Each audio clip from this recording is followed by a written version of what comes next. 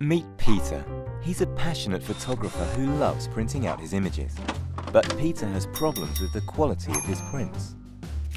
When he first bought his printer, he only used the ink and paper from the printer manufacturer.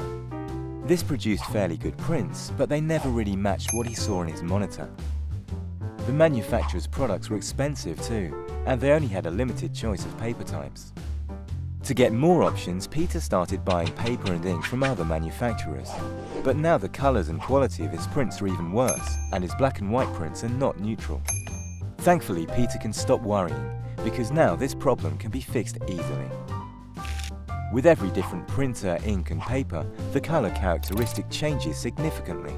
Matte paper reacts differently to glossy paper, and the amount of ink used varies. For optimal colour results from a printer, these factors need to be coordinated. Professional software like Photoshop or Lightroom uses a system called ICC profiling to handle this.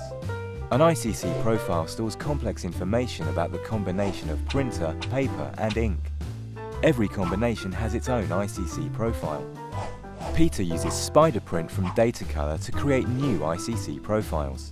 With these profiles, he can print optimal colours, for Peter, this means no more frustration, wasted ink and paper, and he can now choose between a wide range of media. Here's how to do it in three easy steps.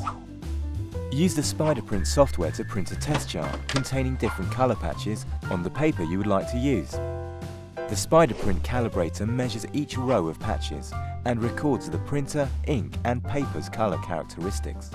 The software now calculates a corrected ICC profile and stores it automatically in the right place on your computer.